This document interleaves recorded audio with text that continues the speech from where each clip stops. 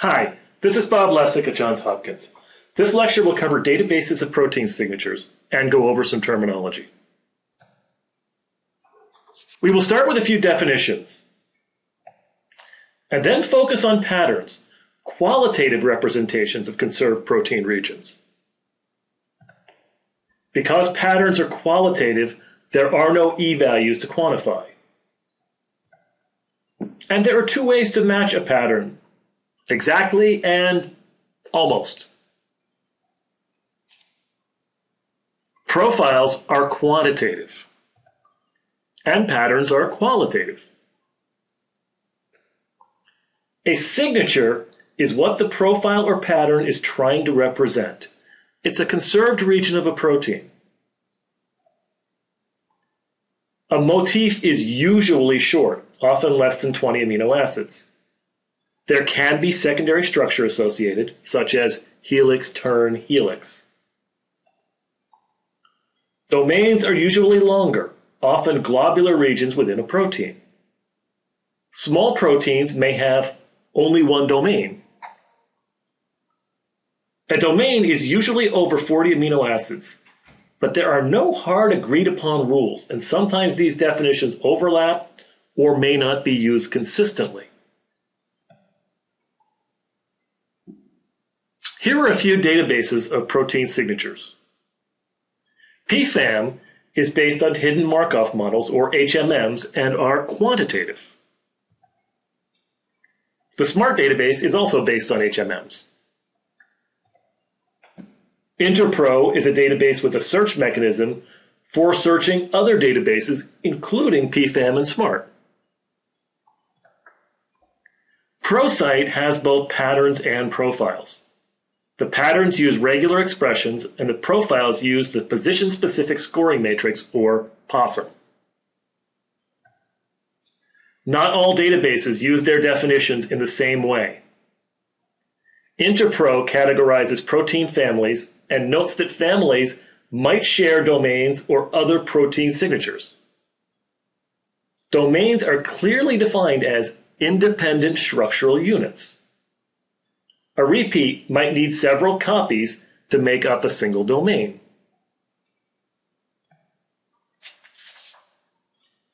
SMART is even more specific on its domain definition, a globular region with a hydrophobic core. Domain organization refers to the order in which domains appear in a protein. Note that shared domains, by the SMART database definition, are homologous.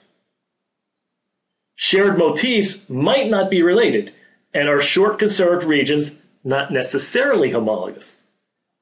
Think of it this way a helix turn helix motif is relatively easy to build and can be achieved with unrelated proteins. A profile is defined quantitatively. It's not mentioned here, but SMART uses the HMMER program to build HMMs to represent domains or motifs.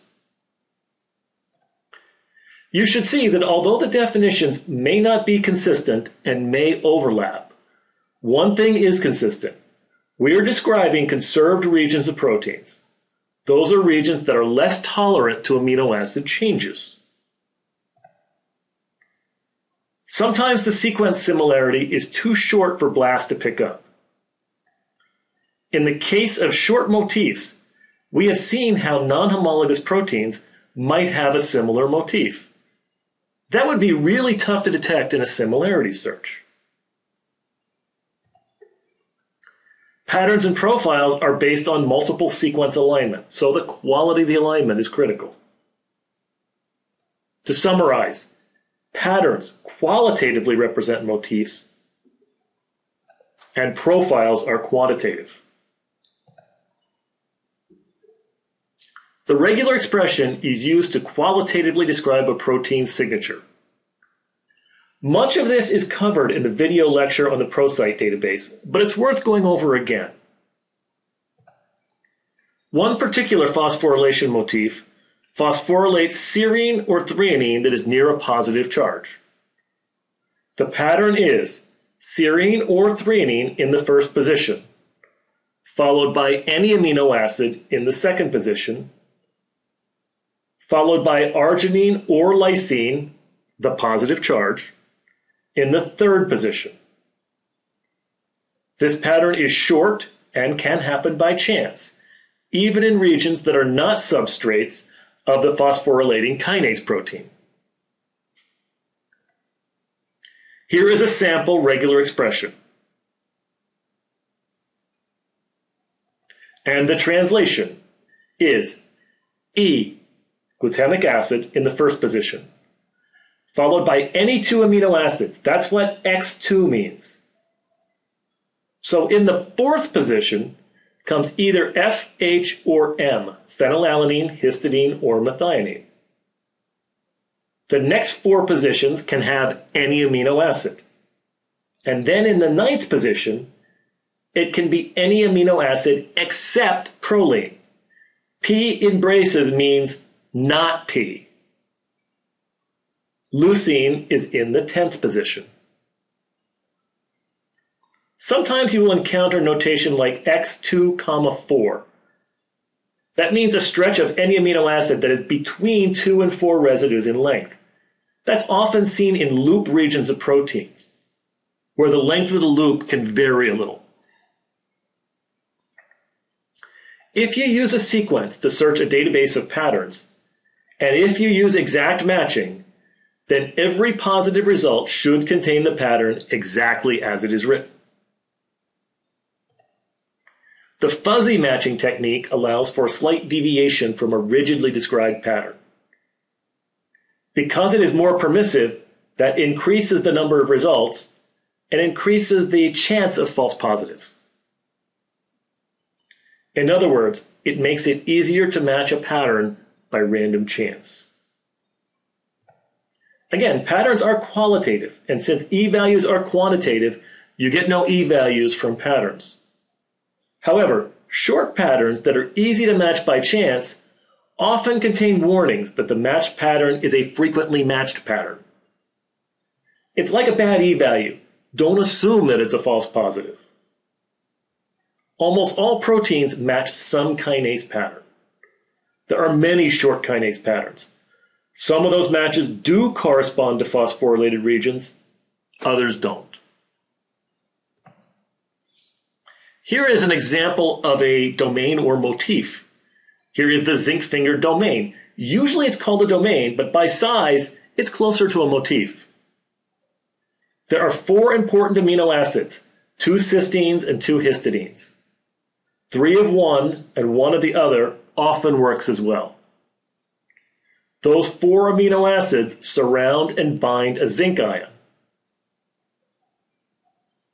That structure allows the protein to align with the major group of DNA. Many, but not all, DNA binding proteins have this motif. The leucine zipper is found in some DNA binding proteins. The helices are held together by leucines at every other turn of the helix. Since there are close to 3.5 amino acids per turn, there are about 7 amino acids in two turns of an alpha helix. In this structure, leucine occurs every seventh amino acid. Leucine is sticky and often interacts with other leucines. That allows these two helices to be held together in a zipper-like manner. So if leucine is every seventh amino acid, the pattern is easy to describe. L, followed by any six amino acids, followed by L, followed by any six amino acids, followed by L. Signature is the term for a conserved region of a protein, usually associated with some purpose. A signature can describe a domain or motif. Generally, motifs are smaller, domains bigger. And regular expressions can qualitatively describe a pattern. Keep that in mind as you search profile and pattern databases.